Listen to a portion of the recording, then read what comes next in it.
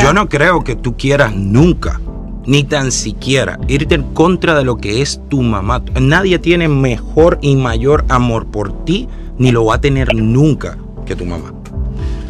Entonces, si la realidad es que a tus 20 años todavía tú no has podido descifrar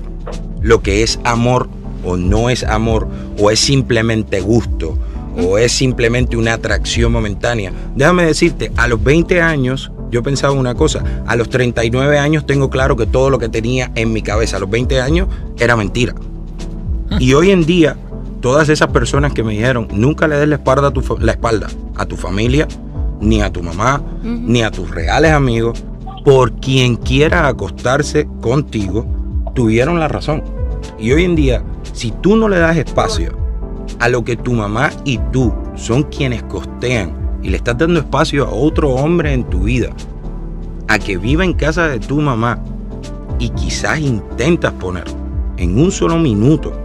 a tu mamá primero que tu novio, la irresponsable eres tú.